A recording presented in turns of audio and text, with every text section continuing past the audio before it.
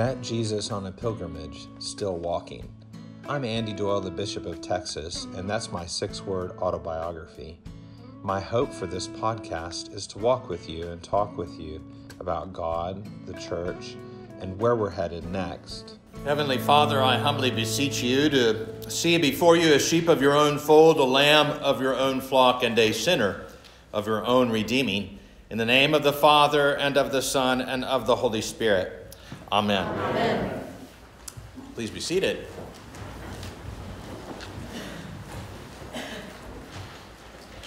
Bruce, I love you so much. That was the best reading of that gospel. I mean, I never imagined that the devil was an angry British person, but it was so good. Dash! Dash your foot on the stone. It was like, yes, God. If we read the gospel like that every Sunday, I guarantee it'd be a full house. You know, it'd be like, well, I'm going to church, go hear the gospel today with the voices. I, uh, and I mean that seriously, by way. you might think I'm teasing, but uh, I'm not actually not. Uh, I really did like it. And, um, and despite that, that's not what I'm preaching on. I want to preach on Deuteronomy. I'm going to get to this gospel passage, but I want to preach on Deuteronomy for a second, and uh, about an hour actually, but um, that's where I'm going to start. and I want to start with this passage because because it's very important. In fact, it may be one of the oldest passages in the scripture, highlighting its importance to us as Christians today. A wandering Aramean was my ancestor. He went down into Egypt and lived there as an alien. This is, this is the core of that first passage, a core of that teaching. And if I, I love Rabbi Sacks, I turn to uh, Rabbi Sacks, God rest his soul, uh, who uh, pulls at these threads in the text and reminds us that Abraham and the people are the first to experience God and to begin to save and write down the story of God. And so that's how we come upon this particular passage. Moreover, that the people of Israel, in their experience and through the text, reveal to us the story of history as an overarching theme that God is making it. we are not, despite how it might seem tomorrow morning, we are not at the center of God's overarching history. But God is. Hmm. A narrative with themes of redemption and salvation, hope, and peace and blessing. Sacks notes those who stood in the temple on those days saying those particular words, because this is a liturgy, you see, that we are experiencing in this Deuteronomy passage. Those who stood in the temple saying these words were declaring, This is my story. I am the first fruits from this land, and my family and I are part of it all. Sacks goes on to, to question, to say that it's not just a history about what happened. It does answer that, that it begins here, but it also is always, the story of Scripture is always a story about who I am in relationship to God. So it's both of those pieces. We have a context in which we can understand who we are in the present and what we must do to uh, do to hand uh, on our identity to the future, like we do today in our confirmations, reaffirmations, uh, and uh, receptions. It's our continuing practice of retelling the story. As Christians, you and I rehearse the same narrative in worship. We do so with special intent today, as I've already said. Uh, and we are saying, if think about the think about our scripture, think about how it fits into the liturgy and the liturgy itself. It is always moving us from what happened to who we are in relation to God, and in particular for us, who we are in relationship to Jesus Christ. Just as the wandering Aramaean uh, narrative of Abraham speaks of pilgrimage and freedom, so too does it speak to us as Christ's own work of redemption. And you might remember the disciples and apostles, they did not have a New Testament, right? So they would hear these stories like a wandering Aramean, and that's how they recognized Jesus, you see. So, like them, we then come into understanding that the cross becomes the high watermark of God's overall work on behalf of humanity and creation.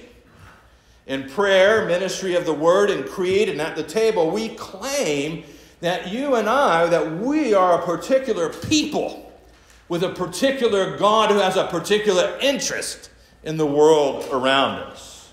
We are, in very real way, at this table, internalizing the story through bread and wine.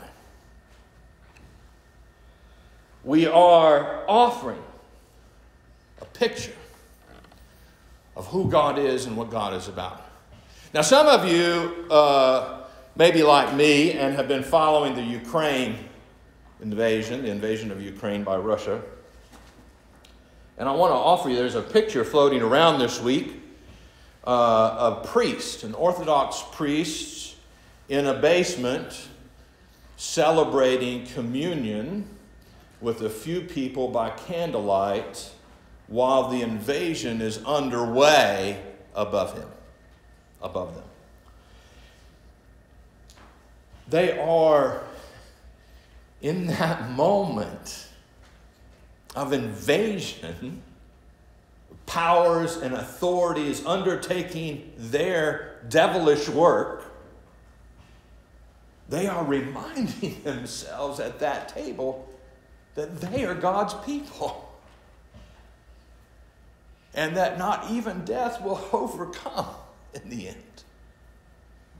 They are praying and telling themselves that God loves them, that God weeps for them, and at the war that is above them, that God desires that we turn away from this sibling rivalry of Cain and Abel, which perpetuates itself over and over and over and over again, and that they will not be captive to that.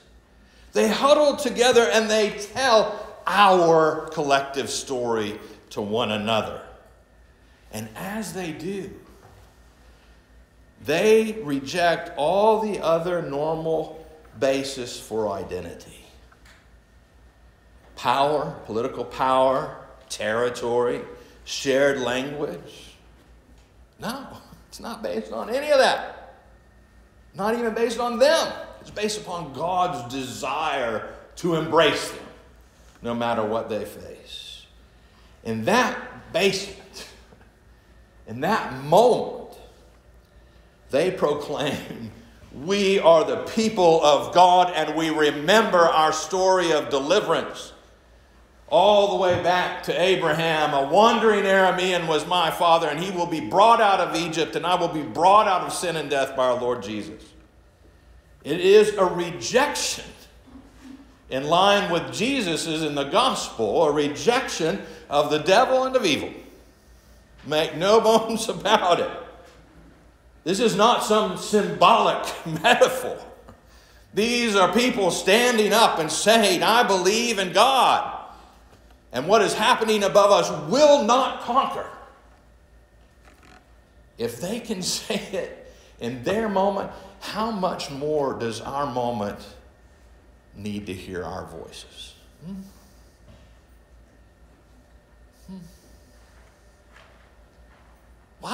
Why, would we be afraid to claim this?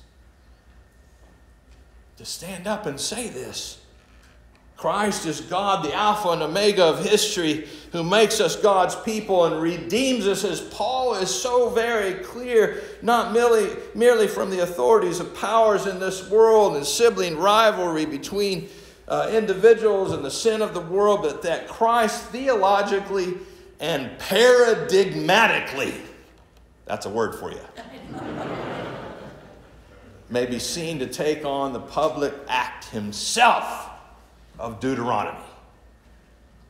God's God takes on himself an offering of his life for the world, entering the tomb like those images of seed that we've been hearing about that must die uh, because they are imperishable in order to be reborn. He goes into the tomb, he is buried, and then rises to give us all freedom and resurrection. So we come here today not simply to give thanks for some new people. That's, you know, not simply because religion is good, and it is. Not simply because over the last two years you actually decided maybe church was good for you, which obviously you have done because you're still here. but we come to be changed from the world around us. To claim that we are Jesus's and that we are marked in baptism by the waters of death and raised with him as Christ's own forever. I'm telling you, folks, they need to hear it in Ukraine but they need to hear it here in Huntsville. Amen. And I have to tell you, as far as I can figure out, that's you. And that God's counting on you to make that proclamation.